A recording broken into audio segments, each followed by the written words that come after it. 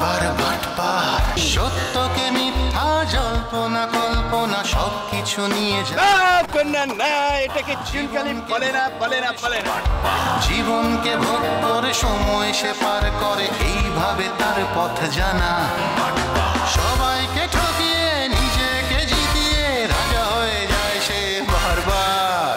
বাটপার না করছিলাম যে তুমি আমার একমাত্র দোস্ত সিকুন আলীর একমাত্র শালি। তার মধ্যে এই গ্রামের মেহমান। এই জন্য আমি তোমারে কিছু করছি না না হলে তোমারে কিন্তু আমি দেখায় যাতাম কি দেখতেন হ্যাঁ? আমহে মরে কি দেখতেন? কিছু তো একটা দেখতামই। এতদিন এই গ্রামে ঘুরে ঘুরে তুমি নিশ্চয়ই জাইনা গেছো সুন্দর আলী কিডা সুন্দর আলী কাউরে তুয়াক্কা করে না। আর তাছাড়া তোমার দুলো ভাই সিকুন আলীর সাথে আমার একটা তোমারে নিয়ে চুক্তিপত্রে সাইন হয়ে গেছে। না হলি আচ্ছা বাইজান আমহের মই করছি ডাকি হ্যাঁ? কি হরছে হাইয়ে মরে কম দেহি? অবশ্যই কিছু একটা করিছো। না হলে সুন্দর আলী ওই বংশের সুয়াল্লা যে তোমার গায়ে পড়ে ঝগড়া করতে আসবে। হেইয়াই তো আমহে মরে কইবেন মই আমহের কিছুটা কি হরছি। তুমি এই গ্রামের মেহমান হয়ে অন্য গ্রামের অন্য অচেনা লোকের সাথে ইটিস পিটিস করতেছ। যদি তোমার ইটিস পিটিস করতেই হয় এই গ্রামে ধরো সুসন্তান আমার মতো সুন্দর আলীর সাথে ইটিস পিটিস করো। আচ্ছা বাইজান এই ইটিস পিটিস হেইয়ে তো মই বুঝলাম না। মোরে একটু বুঝাইয়ে কন দেহি ইটিস পিটিস কি। ইটিস পিটিস বুঝলো না? হ্যাঁ, ইটিস পিটিস হচ্ছে একটা খারাপ কাজ। সে সে বাইজান মুই না আমহে গো আত্মীয়। আত্মীয় মানে হইছে গিয়ে আপনজন। এই আত্মীয়র লগে আত্মীয় কেউ খারাপ কাম হরে আপনি কোন বাইজান হ্যাঁ? খারাপ কাম হলে তো ওই বাইরের লোকের লগে হরবো। আর হের লাগে আমনে মোর লগে তেজ দেখান। আসি বাইজান তোমায় দেখলে মনে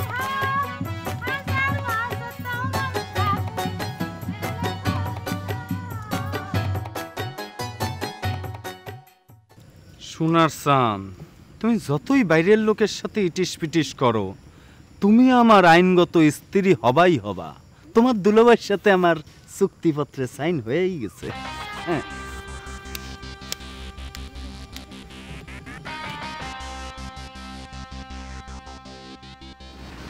আসসালামু আলাইকুম চেয়ারম্যান সাহেব এই সালাম আলাইকুম কি? আপনি একজন সম্মানিত ব্যক্তি চেয়ারম্যান সাহেব আপনার সালাম কালাম দিতে হবে না? আজকাল বাটপারি করতে করতে সালাম কালাম নিয়েও বাটপারি শুরু করেছিস। আপনি কি করছেন? আমি বাটপাটি করলাম কোনে? আপনার সালাম দিলাম। আমি তো এর মধ্যে কোনো ভুল দেখতেছি না। আপনার কথা শুনে আমি বিস্মিত হয়ে গেলাম। তো বিস্মিত আর কি আছে? শোন সালামটা ভালো করে দিতে হয়। ক আসসালামু আলাইকুম। আপনার উপর শান্তি বর্ষিত হোক। চেয়ারম্যান সাহেব নিয়ত হলো বড় কথা। নিয়ত যদি ঠিক থাকে সব ঠিক। তা আপনি যখন বলেছেন আপনি অত্র অঞ্চলের ত্রাণকর্তা চেয়ারম্যান সাহেব ঠিক আছে? আপনার কথাই থাকল। আসসালামু আলাইকুম রহমতুল্লাহ বারাকাত আপনার উপর শান্তি বর্ষিত হোক। ওয়ালাইকুম আসসালাম।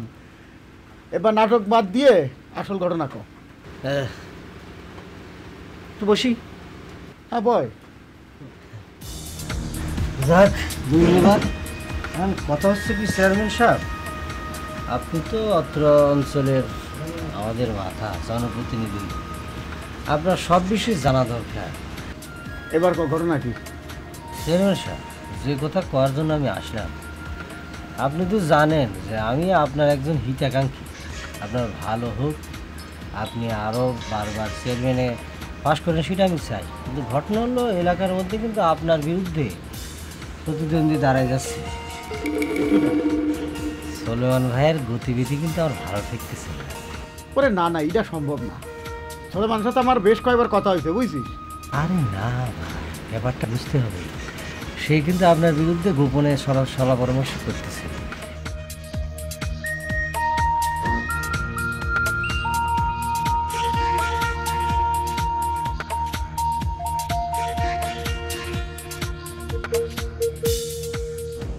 তুই আবার একটু হালকা খোঁজ খবর নিবানি দেখা যাক কি হয়। তোমাদেরকে আমি সব সময় বলি একটু সাবধানে চলাফেরা করো। আমার কোনো কথা তো তোমরা কানেই তুলো না। আমাদের কি দোষ মা? আমরা কি জানি নাকি যেরকম হবে। আমরা তো গিয়েছিলাম ওই রতনের ফ্ল্যাটটা দেখতে। সেটা দেখে বের হয়ে চায়ের দোকানে বসে চা খাচ্ছিলাম। এই সময় কোত্থেকে এরা আসলো? হ্যাঁ মামি আমরা কিন্তু কিছুই বুঝতে পারিনি। আর বুঝবই বা কী করি? আমাদের সাথে তো কারও শত্রুতা ছিল না যে তারা আমাদেরকে মারবে।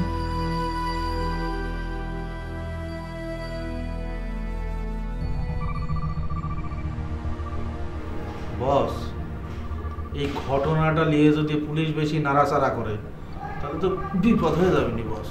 ও বস যদি কোনো রকম কোনো আলামত পাওয়া যায় তাহলে কি হবে নি বস? হুম ঠিকই কইছস সমস্যা হইলেও হইতে পারে তবে এই কেয়ালির কাছে সমস্যা কোনো ঘটনাই না। তাছাড়া আমি তো এই শহরে থাকতেছি না। অচিরেই গাও ডাকা দিতেছি তোরা এক কাম কর তোরাও গাও ডাকা দে কোনো অবস্থাতেই কিন্তু পুলিশের কাছে ধরা খাবি না যদি ধরা খাইছস তাহলে কিন্তু একেবারে গুইসাপ পিটা করে একেবারে প্যারালাইসিসের রোগী বানাবে বুঝছস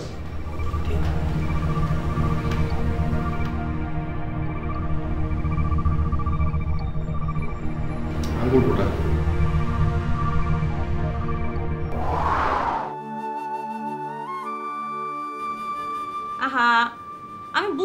পারছি না। ওই দুটো প্রতারককে মার খেয়েছে তার জন্য তো মন খারাপ করার কি আছে? ওদের মৃত্যু হলে তো আমি সবচেয়ে বেশি খুশি হতাম। জেরিন! ইয়েস আজ ওদের জন্য তোর লাইফটা নষ্ট হয়ে গেছে। মামা আমি সমাজে মুখ দেখাতে পারছে না। তার উপরে পুলিশ আবার হয়রানি করছে। হ্যাঁ আর এই প্রতারক দুটোর জন্য তুই আবার সিম্পেতি দেখাচ্ছিস। আমি ওদের জন্য কোনো রকম কষ্ট পাচ্ছি না কোনো রকম দুঃখ হচ্ছে না আমার। আমি শুধু চাই না ওদের কোনো ক্ষতি হোক। এটা ক্ষতি নয় এটা শাস্তি। আর এই শাস্তিটা ওদের হওয়াটা উচিত। অ্যাটলিস্ট গ্রামে আর কিছু হোক আর না হোক মা মামির মানসিক যন্ত্রণা কিন্তু কিছুটা কমবে। তুই এসব ঘটিয়েছিস?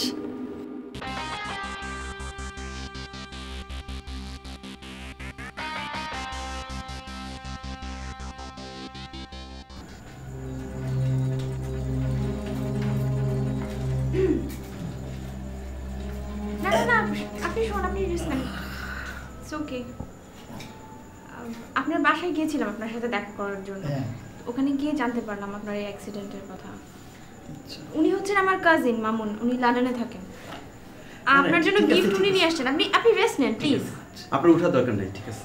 দেখুন আপনাদের কাছে অনুরোধ বাবাকে এই অবস্থার কথা বলবেন না। It's all right it's all right কিন্তু আপনার এই অবস্থা হলো কি করে? সেটা ঠিক আমি বলতে পারব না। আপনার বাবা জানতে চেয়েছিলেন যে আপনি লন্ডনে যাবেন কিনা। যদি আপনি যেতে চান তাহলে উনি আপনার পেপারস রেডি করবেন আপাতত আমার কোথাও যাবার ইচ্ছে নেই। বাবাকে বলবেন তার ছেলে জন্মভূমিতে বেশ ভালোই আছে।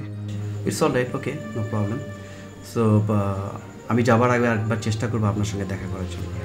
আর আপনি সুস্থ হয়ে আসেন না একবার আমাদের বাসায়। Sure okay mister Ryan okay Liza let's go okay okay bye thank you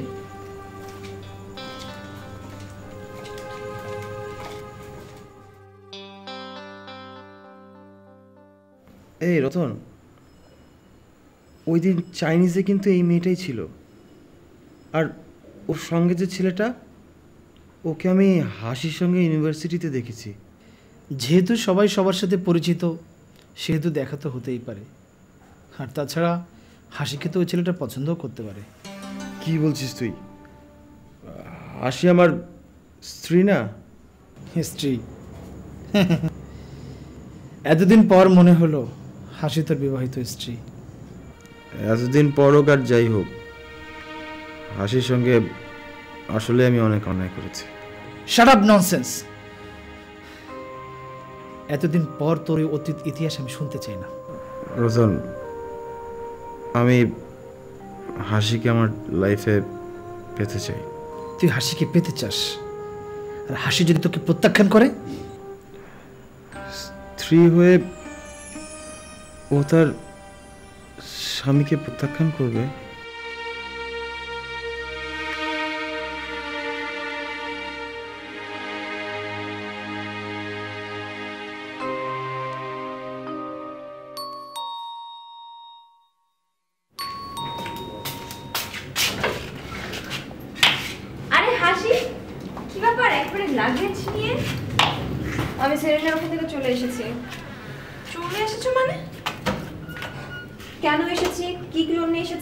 এরকম প্রশ্ন করবে না। আমি একদিন হোস্টেলে থাকব। হোস্টেলে থাকবা কেন? হোস্টেলে থাকবা মানে কি? আজ রাত তোমার এখানে থাকছি, কাল সকালে আমি কিন্তু প্লিজ আমাকে আর কোনো প্রশ্ন করো না। আমি এখন প্রশ্ন উত্তর দিতে পারব না। আচ্ছা ঠিক আছে। আমি তোমাকে এই সম্পর্কে আর কোনো প্রশ্ন করব না। এখন তুমি চলো চলো।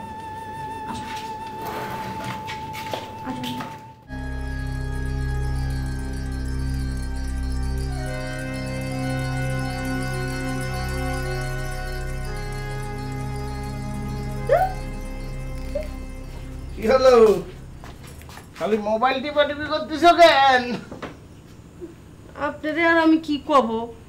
আপনারা এত করে কই যে হাসির সাথে আমার একটু কথা কয় দেন। আপনি খালি কোন পারলে নিজই করো নিজই করো। আমি তো ঠিকই কইছি পারলি নিজে করো। আমি কীভাবে করব? আমি তো মোবাইল চালাতে পারি না। হুম তা পারবা কেন? তুমি তো খালি পুলিশ দেখে অজ্ঞান হতে পারবা। দেখ দাও।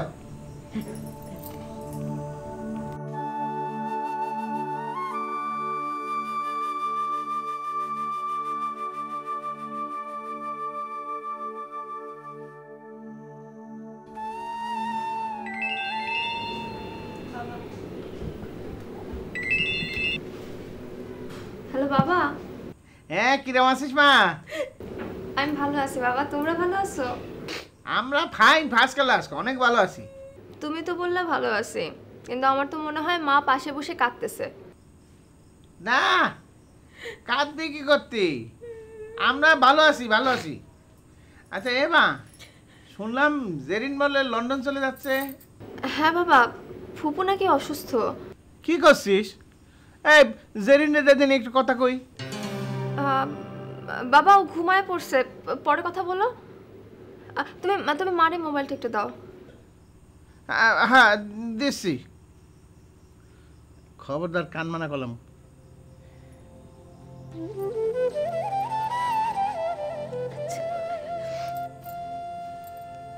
হ্যালো মা।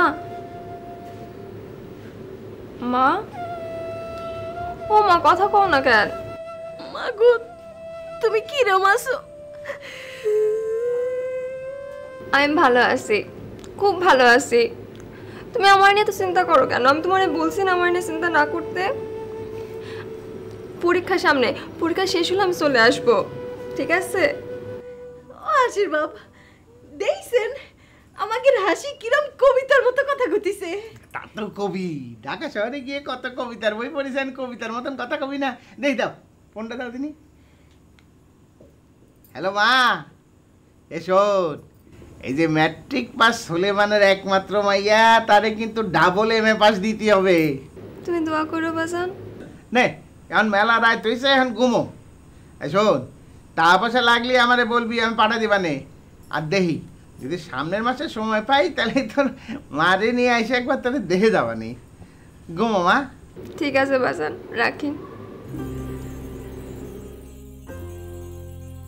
তুমি তোমার বাবার সাথে কথা বলছিলে? বাজানকে একটু মিথ্যে কথা বললাম নাহলে দুশ্চিন্তা করতো।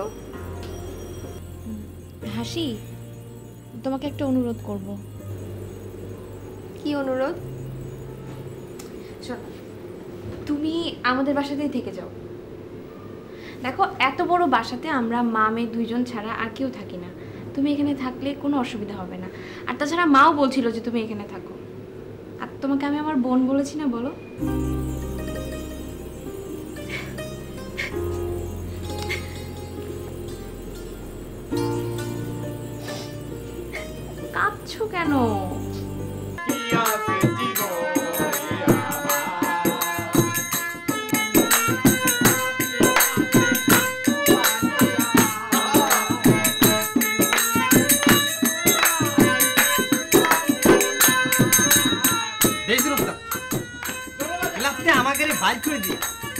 সুন্দর একটি বাড়ি।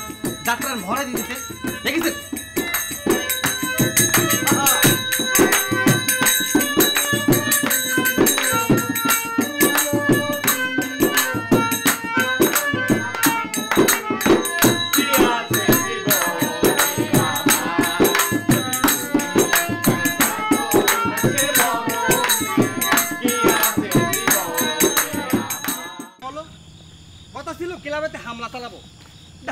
চালালেন না। চলেন ক্লাবেতে হামলা চালাই। খারাপ তোরা কি আমার ভীরু কাপুরুষ মনে করেছিস নাকি? আমি তো আইজি ক্লাবে হামলা চালাতে গেলাম কিন্তু আমার ফিরে আসতে হলো। বাট হয় কেন ফিরে আসতে হলো? কেন ফিরে আসতে হলো স্যার এর একটা ঘটনা আছে। কি একটা ঘটনা? আজকে আমাবস্যা না। মারামারি করতে গেলে কি আবার অমাবস্যা পূর্ণিমা দেখা লাগে নাকি? দেখ সব কিছুর একটা নিয়ম শৃঙ্খলা আছে না? আমাবস্যা বাদে তুই যে কোনো দিন চুরি ডাকাতি ছিনতাই করতে যাবি ধরা খাবি। ওফ, নিয়তির কি নির্মম পরিহাস। সুন্দর আলী আমার হাতের থেকে আজকে বাইচে গেল। এই কিটা যাইব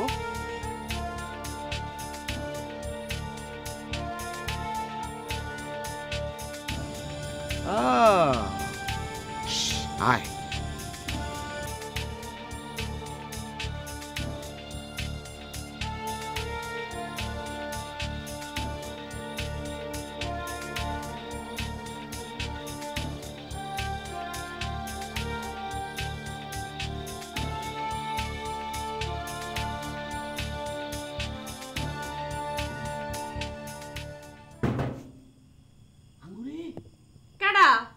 আঙ্গুরি আমি।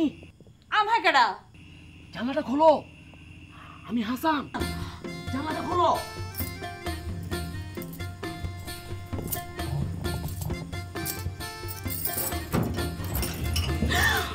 উমর খোদা! ও কি ভাইসান? আপনি এত রাইতে কি আইছেন? আমি আপনাকে একটা সুসংবাদ দেওয়ার জন্য আসছি। কি সুখবর? আপনার নামে আমি দুই লাখ টাকা লোন স্যাংশন করিয়েছি। ও সত্য কইতাছেন ভাইসান মোর যে কি খুশি লাগতেছে ভাইসান থ্যাংক ইউ ভাইসান থ্যাংক ইউ তো ভাইসান মুই তো স্বাক্ষর টাক্ষর কিছুই হলাম না মুই টাকাটা পামু কেমন? ওটা নিয়ে আপনার চিন্তা করতে হবে না। আঙ্গুরি বেগম সাজিয়ে আমি অন্য একটা মেয়ে দিয়ে ওই দুই লক্ষ টাকা আমি স্যাংশন করিয়েছি। আপনি শুধু কালকে বা পরশু যে টাকাটা উঠিয়ে ফেলবেন ঠিক আছে? আচ্ছা একটা কথা এ মানে বলছিলাম কি আমরা দুজনেই তো বয়সে সমান সমান তাই না? এই আমি আপনি তুমি মানে আপনি আমাকে যে এই আপনি আপনি করেন ভাইজান ভাইজান বলেন এগুলো না একদম ভালো লাগে না। একটা কাজ করা যায় না যে আমরা একটা নতুন সম্পর্ক স্থাপন করি। মানে আমরা দুজন যদি ফ্রেন্ড বা বন্ধু হয়ে যাই তাহলে কেমন হয়? এটা হলে তো খুবই ভালো হয় ভাইজান। বসি ফ্রেন্ড হ্যাঁ এই যে আমরা যদি বন্ধু হয়ে যাই না তাহলে কিন্তু আমরা আমাদের দুঃখ সুখ একদম একজন আরেকজনের সাথে শেয়ার করতে পারব। আর আমি আপনাকে অনেক হেল্পও করতে পারব। এই যেমন আপনি হাত ধরেছো না আর এই যে আমি তোমার হাতটা ধরলাম না এটা শুধু এই আমরা দুজন বন্ধু বলেই সম্ভব তাই না? যে যে ভাইজান কারেক্ট কথাই কইছেন। আর তুমি আমি তো বন্ধু হয়ে গেলাম হ্যাঁ? আর তুমি বন্ধু হয়েছে বলে আমি কিন্তু তোমাকে অনেক রকমের হেল্প করতে পারব। অনেক রকম হেল্প করতে পারবেন? ইয়ে কেমনে করবেন একটু খুললে কোন তো এই যেমন তুমি লোন নিয়েছো না এই লোন নিলে তো তোমার মাসে মাসে কিস্তির টাকা দিতে হবে। ওই কিস্তির টাকার দেওয়ার ব্যাপারেও আমি তোমাকে হেল্প করব। আমি কি কইতাছ দূর। দোস্ত তুমি মনে হয় টাকাটা শোধ করার ব্যাপারে হেল্প করবা। শুধু এটাই না আমি তোমাকে বড় লোক হওয়ার ব্যবস্থা করে দেবো। হেয়া কেমনে হবে?